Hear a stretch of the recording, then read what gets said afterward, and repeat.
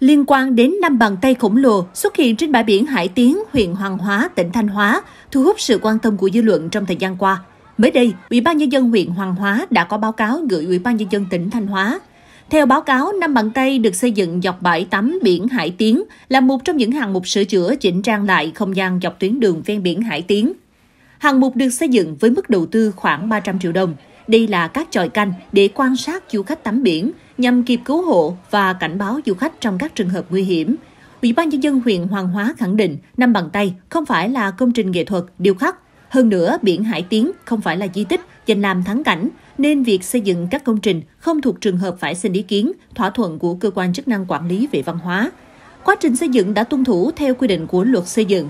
Như thanh niên đã thông tin, đầu năm 2023, Ủy ban nhân dân huyện Hoàng Hóa đã cho xây dựng mới công trình tròi trông coi người tắm biển với hình năm bàn tay bằng bê tông, cốt thép ở dọc bãi tắm.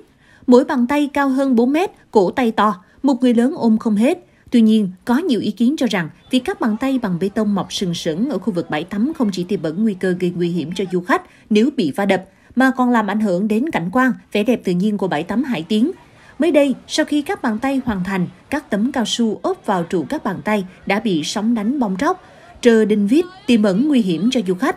Đến ngày 4 tháng 5 năm 2023, Ủy ban nhân dân huyện Hoàng Hóa đã cho dăng dây xung quanh các bàn tay để cảnh báo du khách không lại gần, tránh va vào các đinh vít và không trèo lên bàn tay chụp ảnh.